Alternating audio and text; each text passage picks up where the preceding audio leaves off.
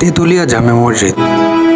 সাতক্ষীরার তালা উপজেলার তেঁতুলিয়া গ্রামে অবস্থিত এই জামে মসজিদটি স্থানীয়ভাবে মিয়ার মসজিদ কিংবা তেঁতুলিয়া জামে মসজিদ নামে পরিচিত হলেও মসজিদের মূল নাম তেঁতুলিয়া খান বাহাদুর কাজী সালামাতুল্লাহ খান জামে মসজিদ।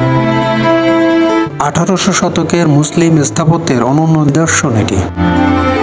তেঁতুলিয়া জমিদার এবং কাজী বংশের বংশধর খান বাহাদুর মৌলভী কাজী সালামাতুল্লাহ খান এই মসজিদটি প্রতিষ্ঠা করেন। তিনি সালাম মঞ্জিল, যেটি বর্তমানে ধ্বংসপ্রাপ্ত, নামেও একটি জমিদার প্রাসাদ সহ আরও কিছু ঐতিহাসিক স্থাপত্যের প্রতিষ্ঠাতা। সাতক্ষীরা জেলা, তালা উপজেলা সদর থেকে তিন কিলোমিটার দূরে তেঁতুলিয়া গ্রামে অবস্থিত এই ঐতিহাসিক স্থাপনাটি। মসজিদের গায়ে প্রাপ্ত শিলালিপি হতে জানা যায়, সতেরোশো সত্তর বঙ্গাব্দে জমিদার খান বাহাদুর মৌলভী কাজী সালামতুল্লাহ খান কলকাতার মুঘল স্থাপত্য সিন্দুরে পট্টির নকশার অনুকরণে এই মসজিদটি নির্মাণ করেন।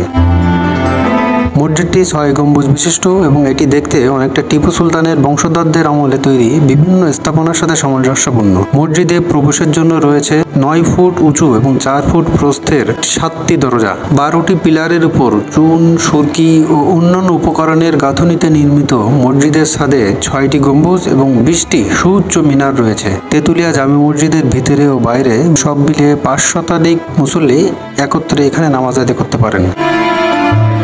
প্রায় দেড় শত বছর পুরাতন ঐতিহাসিক তেঁতুলিয়া জামে মসজিদ হতে মাত্র একশো গজ দূরত্বে রয়েছে তেঁতুলিয়া শাহী জা মসজিদ নামক আরও একটি ঐতিহাসিক মসজিদ। উনিশশো সাতাশি সাল থেকে বাংলাদেশ প্রত্নতাত্ত্বিক অধিদপ্তর তেঁতুলিয়া জামে মসজিদটি সংরক্ষণ করে চলছে।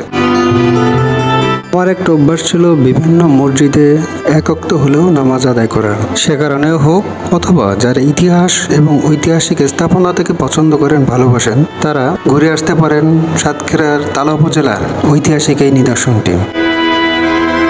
আজকের মতো এ পর্যন্তই। সবাই ভালো থাকবেন, সুস্থ থাকবেন। আসসালামু আলাইকুম।